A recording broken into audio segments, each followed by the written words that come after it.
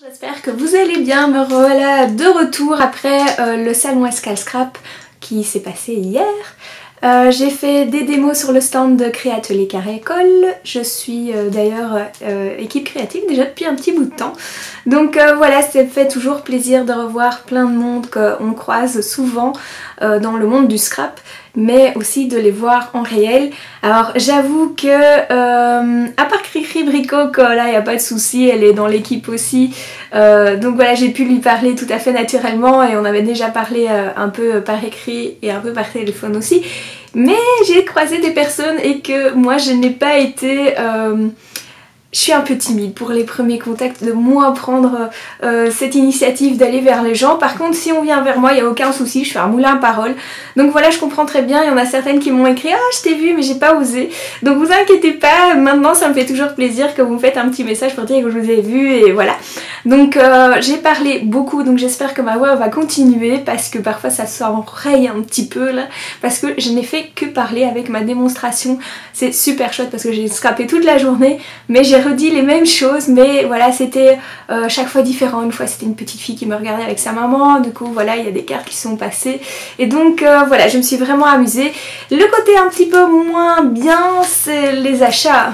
Bah oui, on est tenté quand on va dans ces, dans ces, euh, ces genres de salons, mais en soi, je pouvais pas ne pas prendre tout ceci. Oui, je ne vous dis pas la marque parce que mon mari se fout toujours de moi quand je dis euh, la, marque parce que c'est en anglais et que mon accent anglais euh, n'est vraiment, vraiment, vraiment pas bon.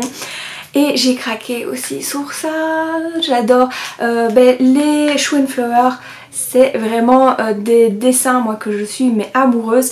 J'étais euh, vraiment mais frustrée parce que c'était avec des tampons Kling donc euh, on voyait jamais où ce qu'on pouvait positionner et tout ça et ils ont sorti des clears donc ça je vais vous montrer juste après plus en détail. Sinon voilà les salons je pense qu'il y a une ambiance un peu spéciale et on peut voir vraiment les gens euh, toute la journée, voir euh, parler que de scrap. Ça c'est vraiment quelque chose aussi euh, pour moi qui c'est vraiment la première chose que, je vais dans ces salons et de faire des bonnes affaires. Donc je vous laisse en vidéo avec mes achats et puis après je vous mets la, vidéo de ma démonstration et un petit tuto fait avec les Pink Fresh qui sont ici toutes nouvelles c'est ça qui est bien aussi d'être dans une équipe créative, c'est que on se, on sort de sa zone de confort parce que on doit tester des choses, et j'avoue que j'étais euh, vraiment pas, euh, et ça m'est arrivé plusieurs fois en faisant des démos, c'est que ça me convenait pas du tout, je n'aurais jamais acheté ça, mais c'est vrai qu'après quand on teste, quand on, on s'entraîne plusieurs fois pour faire découvrir, et que tout au long de la journée on fait les mêmes choses, c'est vrai que pour finir on accroche vraiment, euh, ça m'est déjà arrivé avec les Aquaflow de nouveau, ici c'est les Pink Fresh, elles sont vraiment mais superbes. Euh, les couleurs éclatantes et euh, voilà vous allez longtemps avec un flacon. Euh, c'était quoi encore Bah oui les, les encres Prima qui sont juste là, vous voyez là Là, non, non, attendez, mon doigt ne va pas dans le bon sens. Voilà, celui-là, j'ai toute la collection, c'est les Prima de Color Philosophie. ben voilà, c'est un peu la catastrophe, mais bon, heureusement, on, fait petit à petit quoi. Vous allez voir dans mes achats j'ai pris encore une ou deux encres mais au fur et à mesure on achète un petit peu et on arrive à une grosse collection. Bon maintenant la collection là derrière euh, ça s'est pas fait en un jour non plus, ça s'est fait euh, petit à petit et euh, en quelques années parfois aussi. Donc voilà je vous laisse avec la vidéo sinon là je peux encore parler pendant des heures, il n'y a pas de souci. Et oui c'est mes achats, il y a pas mal hein? voilà, j'avais vraiment flashé sur ce genre de petits dessins. Ici, j'ai pris euh, vraiment un peu de la même collection. On retrouve les, plus petits, des plus grands euh, petits euh, ronds. Après, par la suite, j'ai pris ceci parce que ça allait quand même avec ces petits dessins-là. Donc, puis après, bah, j'ai pas pu résister. J'ai hésité. Je me dis, quoi Je prends un, je prends deux, je prends trois. Parce que là, ils sont en petit. Mais j'aime bien les petits détails qui sont ici. Mais ils sont en grand aussi.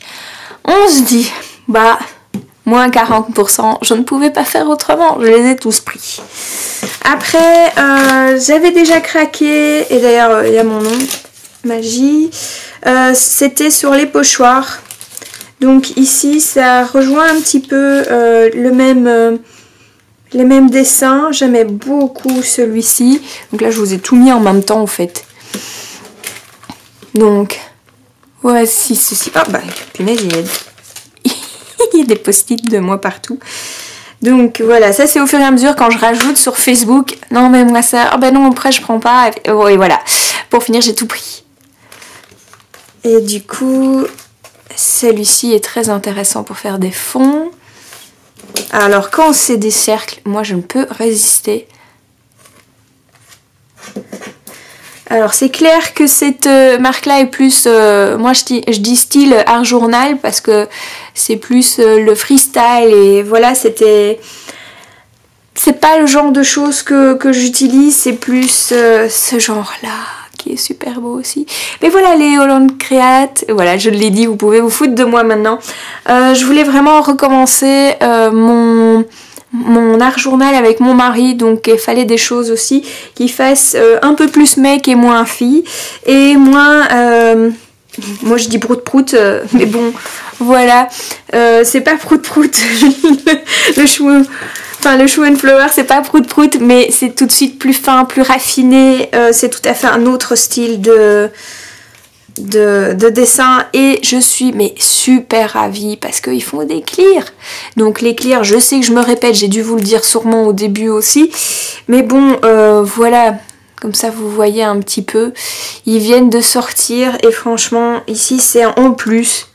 Euh, genre euh, pour faire les bullet journal, checklist et tout ça. Donc c'était vraiment, j'avais des, petits cœurs dans les yeux en disant ouais, je vais les prendre. Ici en petit. Et la big planche. Ils sont super beaux. Oui, il y en a presque sur toutes les planches, mais ça j'adore, comme si j'avais écrit. Et euh, j'avoue que comme c'est une fois sur deux, je rate, c'est sympa d'avoir juste le, tampon. Euh, j'ai pris que ça, ce qui est déjà pas mal, j'ai 5 euh, planches de tampons et si elle continue malheureusement j'arriverai pas à ne pas craquer. Alors euh, ben, comme d'habitude les florilèges. J'en aimerais bien partir au sport d'hiver l'année prochaine, enfin cette année-ci mais la fin de l'année. Donc euh, voilà je pense que c'était vraiment d'actualité. Donc voilà, je commence à m'équiper. On revient... ah bah tiens, encore une petite promotion d'Aladine. Euh, je les trouve vraiment trop mignons. Euh, donc euh, voilà, c'était moins 20%. Et pour continuer, ça c'était pour mon bullet journal que j'aimerais bien ou, mon happy planner. Et là c'est difficile, je trouve qu'on ne voit pas bien. Il y a les reflets. Au fait, ils ont sorti des, des petits... ça c'est un alphabet là. C'est gradué sur le côté. Donc ça je trouve vraiment sympa. si vous voulez, c'est même gradué partout il continue. Ici, en un peu plus grand, vous avez ce pochoir. Je, regarde vraiment à la vidéo si on voit bien. Là, vous avez tous les petits euh, numéros. Ici, vous avez même les, les numéros de réveil.